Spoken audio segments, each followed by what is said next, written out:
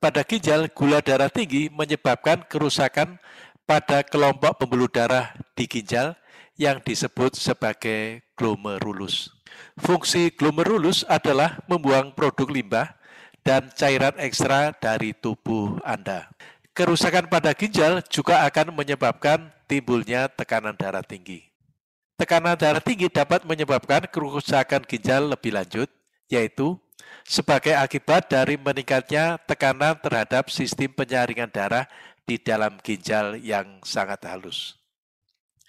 Kelainan ini disebut sebagai nefropati diabetik, yaitu kelainan yang terjadi ketika diabetes merusak pembuluh darah dan sel-sel lain di ginjal Anda.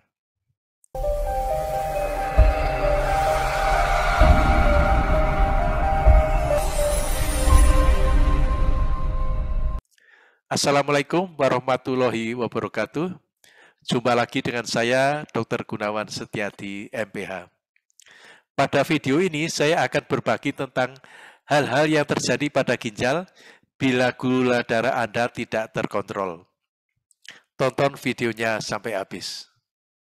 Gejala Pada tahap awal nefropati diabetik, kemungkinan besar Anda tidak akan melihat tanda atau gejala apa pun pada tahap yang lebih lanjut, tanda dan gejala mungkin termasuk memburuknya kontrol tekanan darah, adanya protein dalam urin, pembekakan kaki, pergelangan kaki, tangan, atau mata, meningkatnya kebutuhan untuk buang air kecil, berkurangnya kebutuhan akan insulin atau obat diabetes, kebingungan atau kesulitan berkonsentrasi, sesak napas, kehilangan selera makan, mual dan muntah, gatal terus-menerus, kelelahan.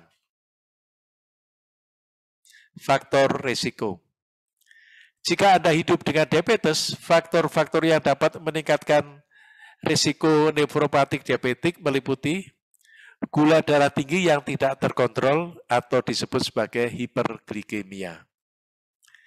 Tekanan darah tinggi yang tidak terkontrol atau hipertensi menjadi perokok, kolesterol darah tinggi, kegemukan, riwayat keluarga dengan diabetes dan penyakit ginjal. Komplikasi Komplikasi nefropati diabetik dapat berkembang secara bertahap selama berbulan-bulan atau bertahun-tahun. Komplikasi mungkin termasuk retensi cairan yang dapat menyebabkan pembengkakan di lengan dan kaki, tekanan darah tinggi, atau cairan di paru-paru, atau disebut sebagai e-, edema paru-paru. Peningkatan kadar kalium dalam darah Anda atau hiperkalemia.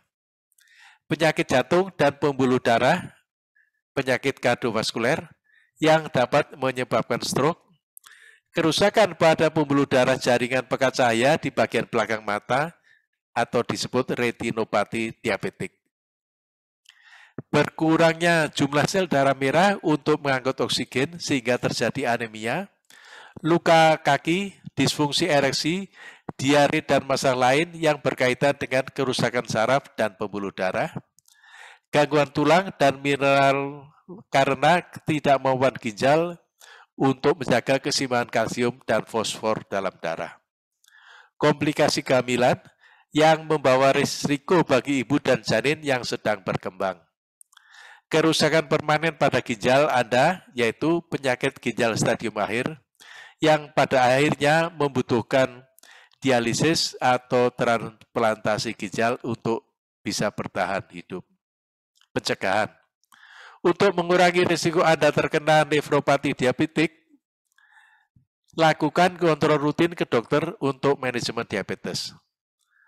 Pertahankan janji temu tahunan atau janji temu lebih sering jika direkomendasikan oleh tim perawatan kesehatan Anda untuk memantau seberapa baik Anda mengelola diabetes dan untuk menyaring nefropatik diabetik dan komplikasi lainnya.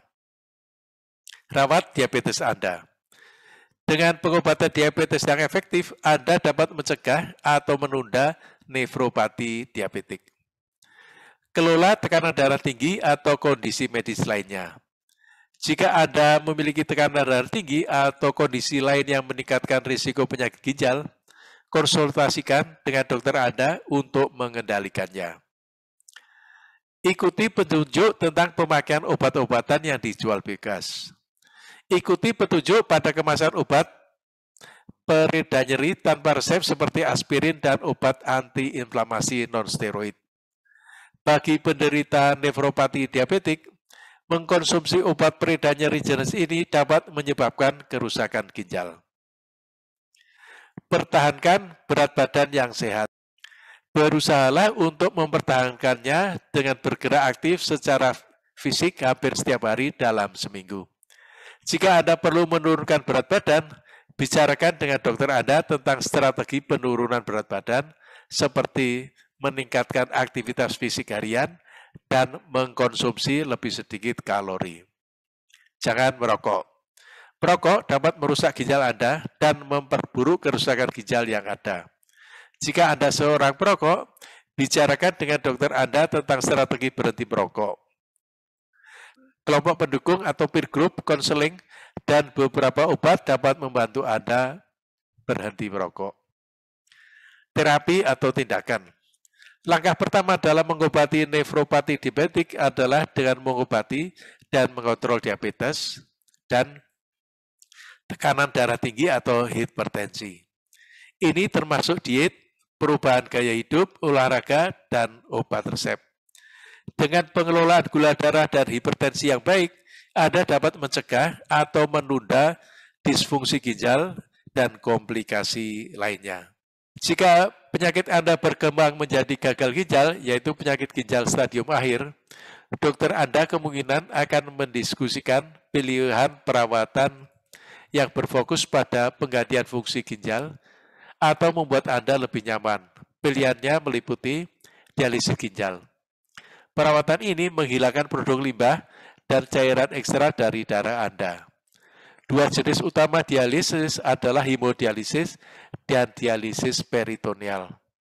Pada metode pertama yang lebih umum, Anda mungkin perlu mengunjungi pusat dialisis dan dihubungkan ke mesin ginjal buatan sekitar tiga kali seminggu. Atau Anda mungkin menjalani dialisis di rumah oleh pengasuh terlatih. Setiap sesi membutuhkan waktu 3 hingga 5 jam. Cara kedua yaitu peritoneal dialisis bisa dilakukan di rumah. Transplantasi.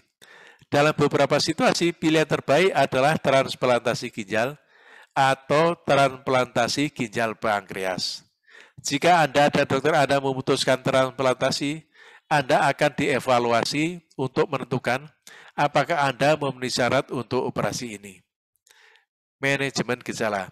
Jika Anda memilih untuk tidak menjalani cuci darah atau transplantasi ginjal, harapan hidup Anda umumnya hanya beberapa bulan. Anda mungkin menerima perawatan untuk membantu Anda tetap nyaman.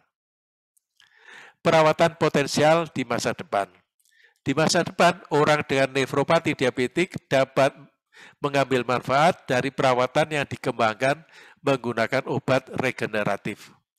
Teknik-teknik ini dapat membantu membalikkan atau memperlambat kerusakan ginjal yang disebabkan oleh penyakit diabetes.